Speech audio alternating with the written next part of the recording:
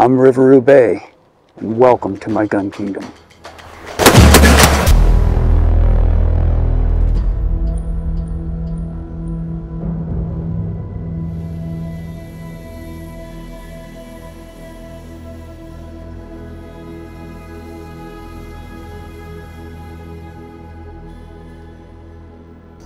And then you'd have the conveniences of all the features the 308 lower offers.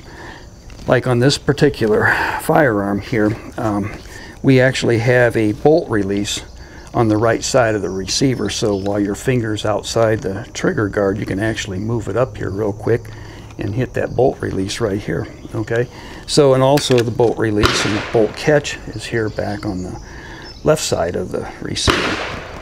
All right. So uh, this gun is uh, set up for right hand since the um, safety switch is, is, on the left side of the receiver. All right, and then your your um, mag uh, release is kind of nice. It, it's right here, so you don't have to drop the mag on the ground. It actually comes right out into your hand. So that's another great feature this gun has.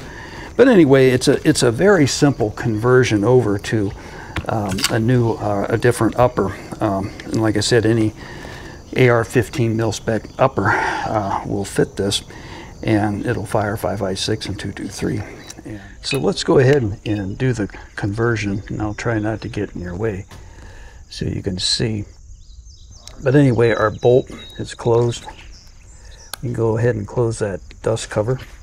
We got the parts here. We got the, the buffer for the 5.56 um, and it doesn't have any indication on here that it's for a 556 or 223 or whatever. But the buffer spring in here for the 308 does. It is marked right here, and I will show you that. But anyway, we have our conversion block and our buffer spring. So first thing we want to do is take off the um, upper 308 and change out the buffer spring. So let's go ahead and do that.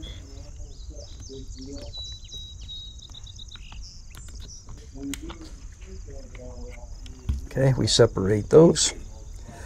So we no longer need this barrel here. Now we're going to take this LE6940 upper. You can close the dust cover on this. All right. Now we need, first thing we need to do is change out change out the buffer spring. So you can use actually a bullet for this and press down on the detent there, but press in the buffer spring as the buffer spring comes out, you want to take it out at an angle so it doesn't hang up on that detent, okay? And it'll come out pretty easy, all right? So now on here,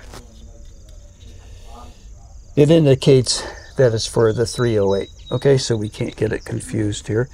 All right, so we take this 55556 buffer spring and we put it in here. Again, we want to go in at an angle. See I'm going in at an angle here? Okay, press it all the way in and it'll stay in. There it is. All right. So the next thing we want to do is take the conversion block. All right, and we want to hook it up to here first on the LE6940. Safety flag there. All right, so that's done. All right. Now all we do is line it up and slip it through here.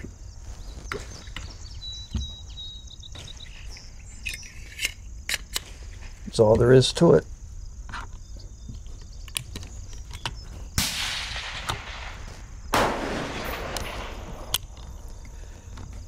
All right, that's it.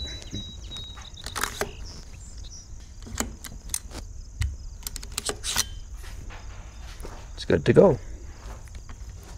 That's the conversion.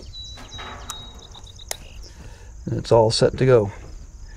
So let's go ahead and, and uh, we can now fire the uh, the lower with the with the LE 6940 upper, and we get it we get to take advantage of all the features that it has on the uh, 308 lower.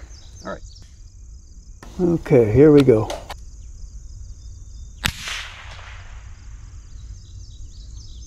Lower target.